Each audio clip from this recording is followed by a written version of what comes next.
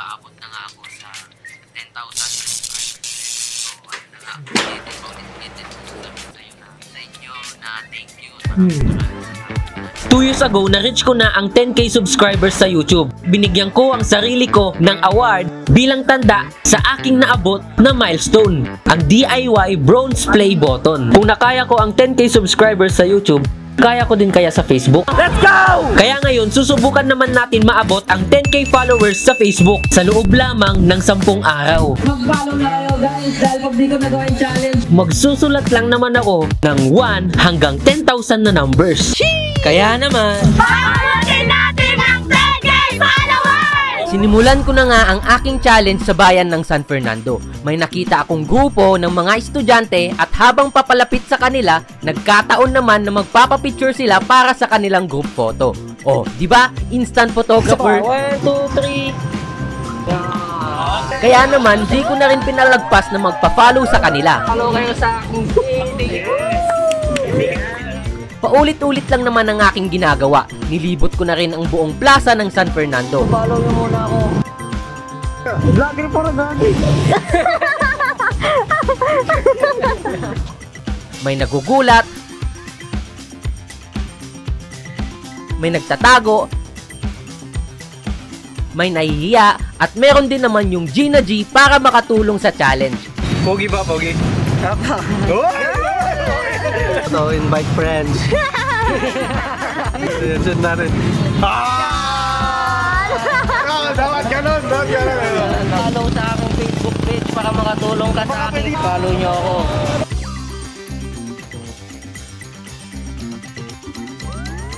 At meron din namang nakafollow na. Nice! Tapos na ano ba? Tumungo naman kami sa town ng Kaba dahil ito ang first time nila na magkaroon ng night market at siguradong maraming tao ang dadalo dito. Para di ka na mahirapan. May mga ilan din na nakakakilala sa akin at nakafollow na. Kaya naman nagulat ako. Sa mga tropa natin dito. Yun! Um, meron po akong challenge na 10k followers in just 10 days. Yeah. Nag-bill mo. Ang mo. Sir Gagi, kilala. This is photography. Ah, yun. Yun. Kung nakapalo na. Follow na yan, nakapalo na yan. Pabutin natin ng 10,000 followers. Oh! Follow dito, follow doon, follow everywhere. Syempre may pa-shoutout na rin. Pasyatol kayo dyan, nga. Ilang sandali lang, hindi ko namalayan na marami na palang tao ang nakapalibot sa amin. Pabel, pabel. Yun!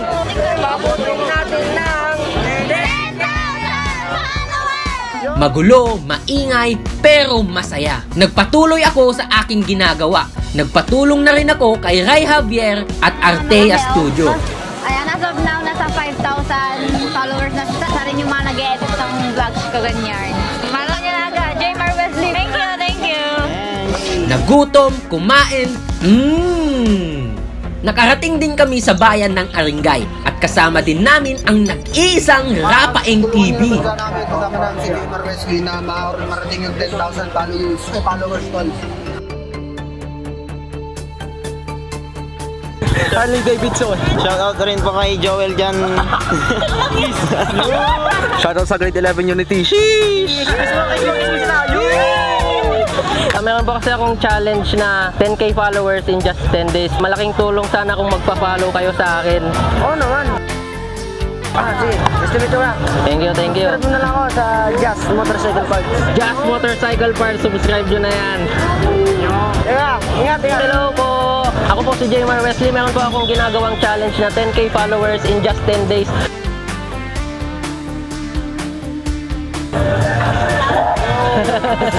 Di ko na rin pinalagpas ang umakyat ng Baguio City at sinimulan namin sa May SM. challenge kasi kami ginagawa. Need namin yung tulong nyo para ma-reach yung 10k followers. Alam ko na hindi basta-basta ang challenge na to. Basta ba'y pakapalan na lang ng muka. Dumiretso na kami sa SM Baguio Sky Garden dahil doon rin naman karamihan nakatambay ang mga tao.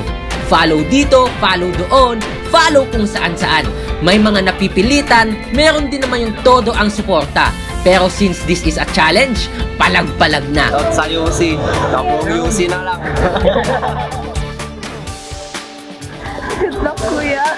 Kaya natin yan. Hello. Bali nalibot na namin yung buong SM dito sa taas. Medyo pagod na. Pangilang araw na ba to? 7 days na, so 3 more to go. Tara na, baka mas makarami pa tayo. Let's go! Let's go! Let's go!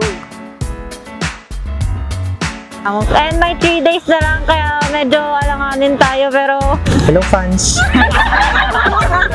Ah, sikat na ako. Hello Kuya Will! Sa sobrang dami na ng taong aming nilapitan, di namin namalayan na parehas na tao na din ang aming pinagbigyan. Sila din pala yun eh. Baka may siya shoutout kayo. Sino may gusto Hi Mike! hi! Sa mga teachers namin, sana po ipasa niyo po kami. Hello! Wow! Yun! Mula Baguio, tumungo naman kami sa bayan ng Nagilian. Susubukan nating magpa-follow dito. Sakto, meron ding silang event na Eco Sanctuary. May mga stalls, live band at DJ at sobrang daming tao. Let's go! Kaya naman, I get this time para gawin ang aking challenge. At eto pa, umakyat din kami sa stage. Hello po guys, ako po si Jaymar Wesley. Sa mga nakakalam dyan, ako po yung wingman variant doon sa Baguio. Sa ngayon, meron akong ginagawang challenge na 10k followers in just 10 days. Kaya sa mga hindi pa nakapollow dyan, mag-follow na kayo guys. Dahil pag di ko nagawa yung challenge, meron akong gagawin na parusa na yeah. Kaya mag-follow pagkababa namin sa stage, nagkagulo na. Ang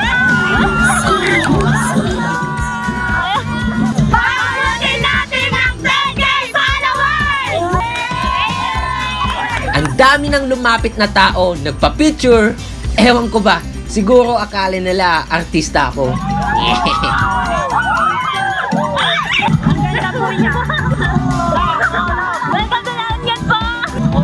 Follow nyo na ako,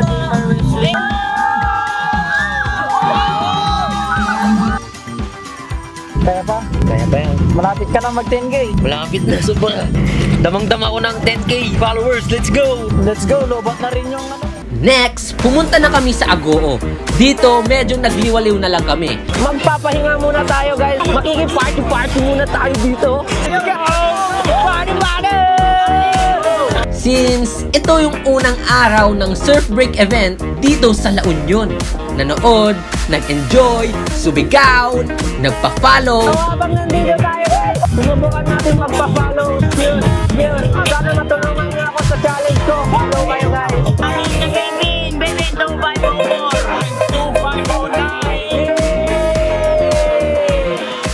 nakakapagod. Oras na siguro para magpahinga. Almost 2,000 printout na rin ng aking naibigay. Sumubok din ako sa Ome TV para magpa-follow. And from 5,008 followers, I gained 600 plus followers in 10 days. Dito ko napatunayan na hindi lahat ng bagay makukuha mo sa oras na gusto mo.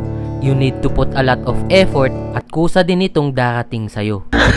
Wait, wait, wait. Masyado na matrama yung ending. Kaya okay lang naman na hindi naging successful itong challenge na to. Ang mahalaga eh, na-enjoy ko yung bawat moment na nangyari sa vlog na to. And alam ko naman na darating at darating din tayo dun sa tamang oras.